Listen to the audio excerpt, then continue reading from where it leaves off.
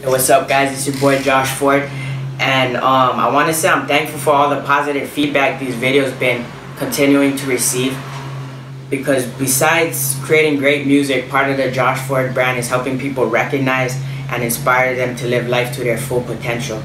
So if I can inspire one person or a hundred people, I, I think that's really dope.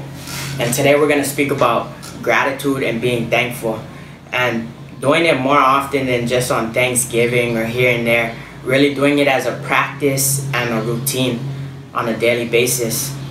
And not even like for crazy things, just like the simple things, like being able to wake up this morning, being able to walk and be in good health, thankful for the food that you currently have, because I feel like this will help you recognize where you are and help motivate you to become more and where you want to be. You know, life is life is really short, so we must appreciate the moments in the here and now because it could all be gone tomorrow. So so just be thankful for everything. Be thankful for what you currently have and continue to push and motivate and you know what it is. It's your boy Josh Forde. Peace out.